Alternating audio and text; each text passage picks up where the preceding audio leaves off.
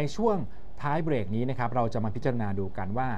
ราศีใดนะครับที่ยิ่งแก่ยิ่งรวยนะครับมีราศีไหนบ้างนะครับ ดูไว้เป็นแนวทางเวลาที่เราแก่แล้วเราจะได้ไม่ต้องท้องอะนะฮ้ยสมมติเราราศีดาวเราแก่โอ้ยแต่เรารวยนะเรามีตังนะอย่างเงี้ยนะครับ เรามาดูกันบ้างมีราศีไหนครับ ราศีแรกนะครับที่ยิ่งแก่ยิ่งรวยนะครับ เรามาดูกัน อันนี้จะเป็นชาวราศี มังกรนะครับโอ้โหชาวราศีมังกรต้องบอกว่าโดยพื้นฐานแล้วเนี่ยยิ่งแก่ยิ่งรวย เพราะว่าเหมือนกับคนที่ใช้ความรู้ความคิดประสบการณ์บ่มเพาะนะครับ จนมาเป็นช่องทางดีๆนะครับ มาเป็นความเฉลียวฉลาดนะครับ ในการคิดแก้ไขปัญหา แล้วก็เกี่ยวข้องกับการบริหารจัดการการเงินด้วยนะครับ ลักษณะนี้เนี่ยมันมาจากความรู้มาจากประสบการณ์ทั้งนั้นเลยนะครับ คนที่เกิดราศีมังกรจึงต้องบอกว่า พอเริ่มมีอายุมากขึ้นเนี่ยก็จะยิ่งมั่งมีมากขึ้น มีความมั่นคงมากขึ้น ร่ำรวยมากขึ้นนะครับเป็นราศีที่ดีมากๆเลยนะครับแถมนะฮะยังเหมือนกับมีคนมาพึ่งพิงอีกด้วยนะบางคนก็อาจจะมีลูกที่ต้องดูแลเพิ่มนะครับญาติมิตรพี่น้องพวกนี้นะครับมาขอความช่วยเหลือมาขอพึ่งพิงให้เราดูแลเขา บางคนก็มีหลานมาอยู่ด้วย มีญาติมาอยู่ด้วยอย่างเงี้ยนะครับอืม ถือว่าเหมือนกับเอยยิ่งมากมีขึ้นก็เหมือนกับมีคนมาพึ่งพึ่งพิงมากขึ้นอย่างนี้นะฮะ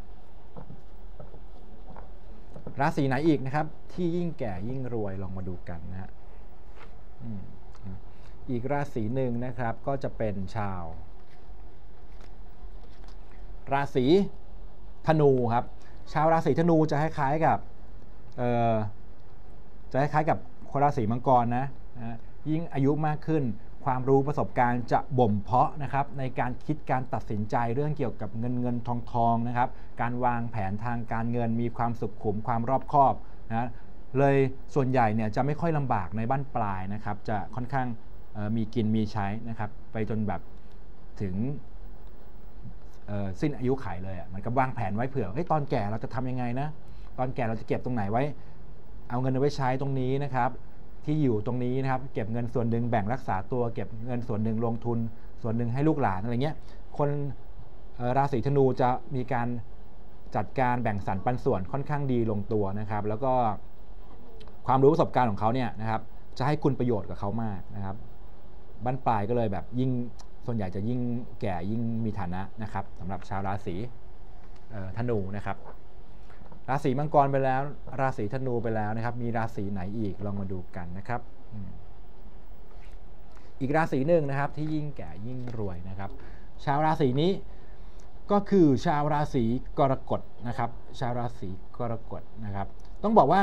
จะค่อนข้างผาดโผนนิดนึงนะของคนชาวกรกฎเนี่ยจะไม่เหมือนกับคนราศีธนูแล้วก็ราศีมังกรนะครับ ชาวกรกฎจะมีความผาดโผนมาก่อนในช่วงวัยหนุ่มนะครับผาดโผน ลดแล่นนะครับ การเงินเนี่ยบางทีก็ติดหนี้จนมากที่สุดมาแล้วนะครับ เวลาร่ำรวยก็เหมือนกับรวยอูฟู่เลยทีเดียวนะครับ มันเหมือนกับขึ้นขึ้นลงลงไม่แน่ไม่นอนอะ แต่ทีนี้เนี่ยสิ่งเหล่านี้เนี่ยมันจะไปเห็นผลดีตอนแก่ เหมือนกับคุณรู้แล้วว่าเฮ้ยอย่างนี้มันจะแย่นะ แบบนี้มันจะดีนะ คุณก็เลยเมีประสบการณ์ที่สูงนะครับ แล้วก็มีไหวพริบปฏิภาณที่ดีในการเงินการลงทุนนะครับ การตัดสินใจ เกี่ยวกับด้านการเงินการลงทุน พอเริ่มเข้าสู่วัย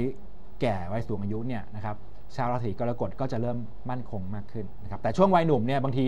อาจจะไม่มีอะไรเลยก็มีนะ แต่วัยพอเริ่มแก่แล้วเนี่ยเริ่มแบบมั่งมีเริ่มพร้อมอย่างเงี้ยนะครับก็คือเป็นอีกราศีหนึ่งนะครับที่ถือว่ายิ่งแก่ยิ่งรวยนะครับสามราศีนี้นะครับใครเริ่มมีอายุอยู่ในสามราศีนี้เนี่ยนะครับก็ขอให้บริหารจัดการการเงินทันทีแล้วกันนะครับมีโอกาสที่จะรวยได้เลยทีเดียวนะครับ เอาละครับ วันนี้เวลาของเราหมดลงแล้วนะครับ ต้องขอขอบคุณท่านผู้ชมทุกท่าน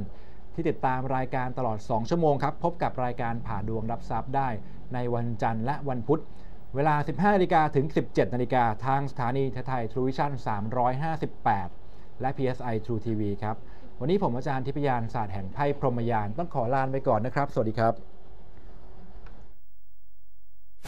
สามารถติดตามเคล็ดลับดีๆ ในรายการผ่าดวงรับทรัพย์กับอาจารย์ทิพยาน